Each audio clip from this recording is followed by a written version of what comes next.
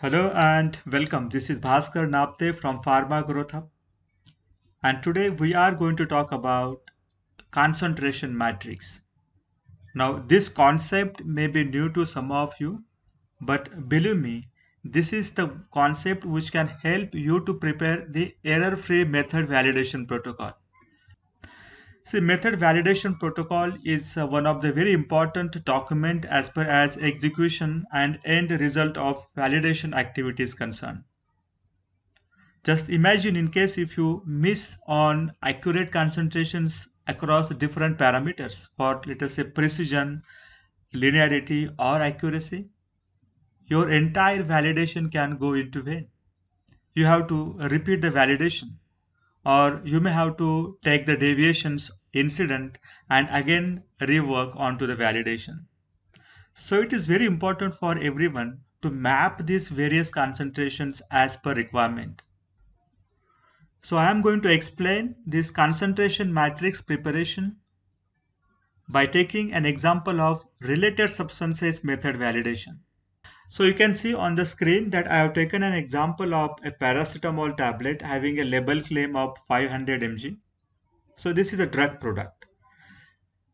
Uh, now before I move any further, let me also make you clear on uh, what you need to do as a part of this exercise while preparing the concentration matrix. In this particular example, you may find the content uh, or the shell highlighted by the yellow color. Now this is the only cell where you have to give the input.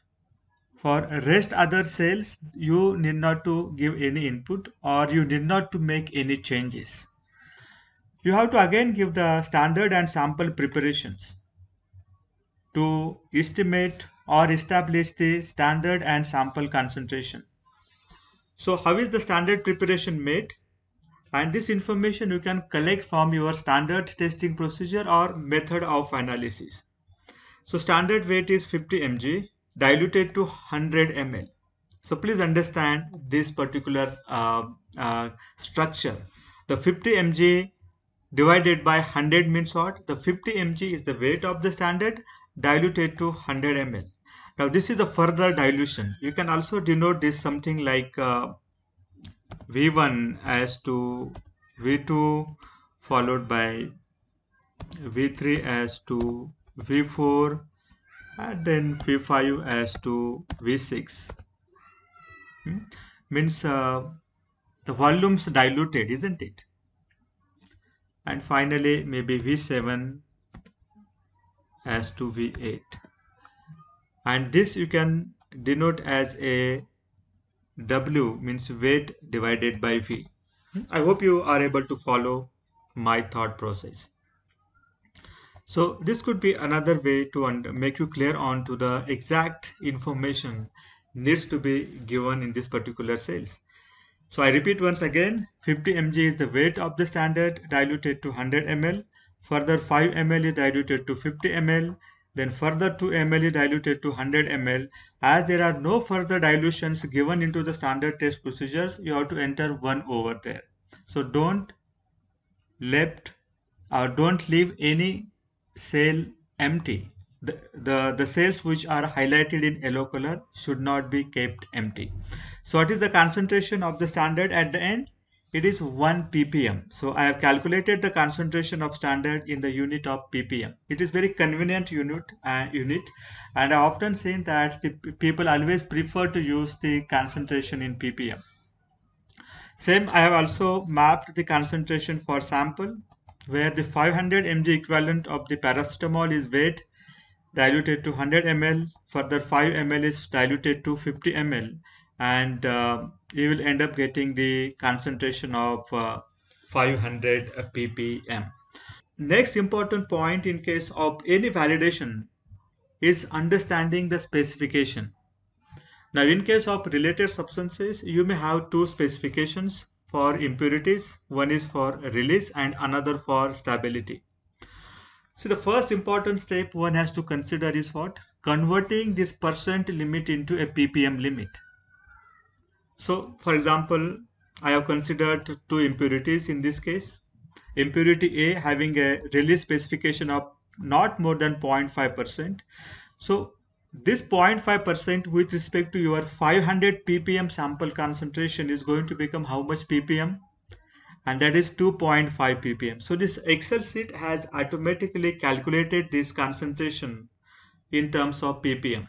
So 2.5 ppm is the limit of impurity A in release specification and 5 ppm is the limit of impurity A as per the stability specification. I hope you understand this, isn't it? And it has been calculated automatically. You can also prefer to give the details of impurity that you are going to use for validation. What is the lot number? What is the expiry date? And what is the potency of the impurities? So once you understand the specification of impurities in terms of ppm, then you can start now mapping the concentrations for different validation parameters. For example, the first one is specificity. So how you are going to prepare the specificity sample?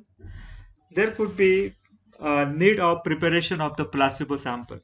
So how much of the placebo needs to be weighed, which is equivalent to 500 mg of the sample, and that is going to become 200 mg.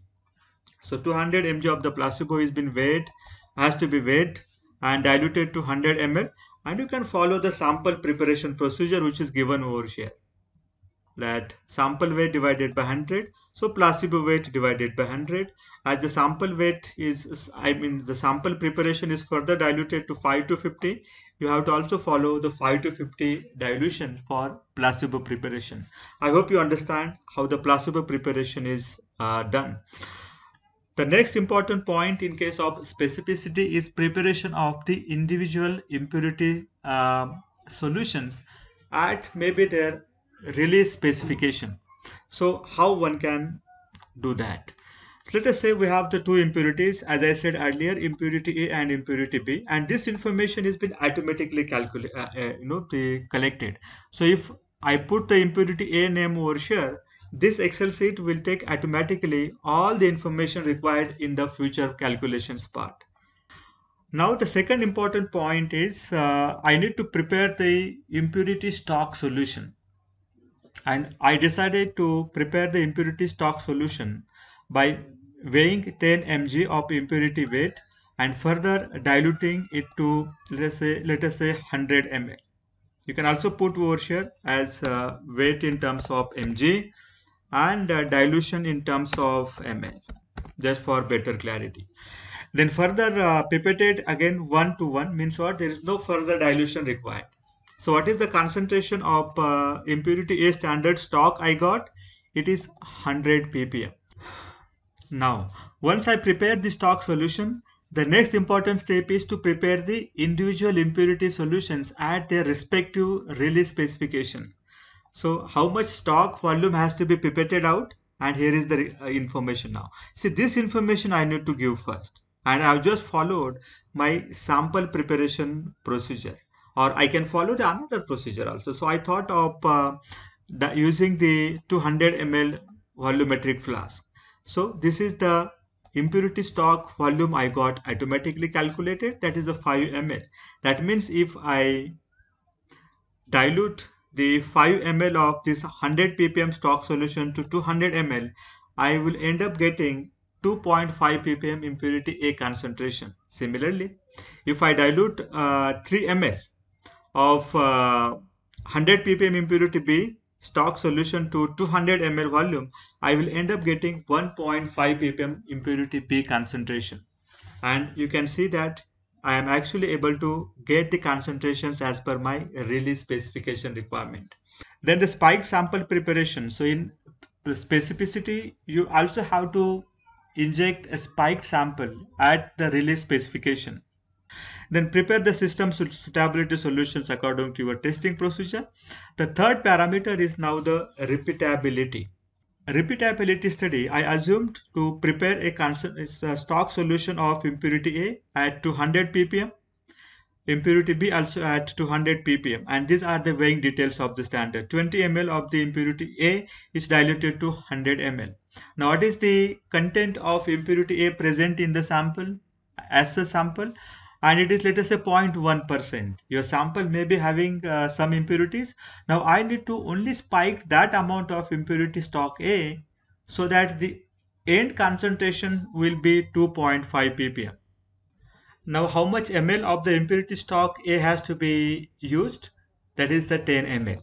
So 10 ml of the impurity A stock uh, plus 700 mg of the crushed paracetamol tablet diluted to 100 ml followed by 5 to 50 and you will get the 2.5 ppm of impurity A. Similarly, if you dilute the uh, 5 ml of the impurity stock B, you will get 1.5 ppm of the impurity B. So in this example, you have actually used actual finished product for preparing the repeatability solutions.